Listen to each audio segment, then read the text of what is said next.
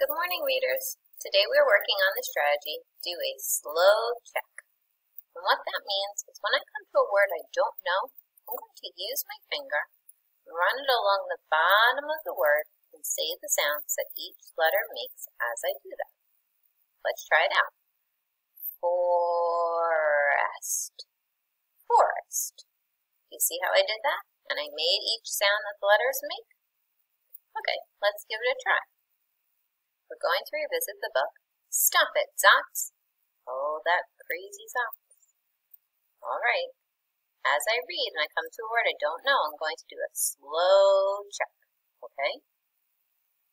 Abby and Zots are best friends. Zots is from outer space. Let's go play, Zots says. I have to do my homework. Abby says. I'm bored, Zots says. Then find that's a really big word. I guess I have to do a slow check, right? But, hmm, let's see. I noticed something in this word. I noticed a red word, a word that can't be sounded out. It's a sight word of mine. I noticed the word some. Because that O does not say O. It says uh. So let me, I know that, so I know some is here. So, some in something. Something. Oh, so I used two strategies actually. Found a red word, found one of my sight words, and then I did a slow check the rest of the way. Okay, let me go back to the beginning. That's what good readers do. Then find something to do, Abby says. Do you see how I did that, readers? I actually used two strategies. Zots bounces in the bedroom. Stop it, Zots, Abby says. Zots plays music in the kitchen. Stop it, Zots, Abby says. How'd I do? Good? Oh, good. Thank you for giving me a thumbs up. Zots plays pirates in the bathroom. Stop it, Zots, Abby says. Zots races the dog in the hallway. Stop it, Zots, Abby says. Zots scares birds in the window. Stop it, Zot, Abby says.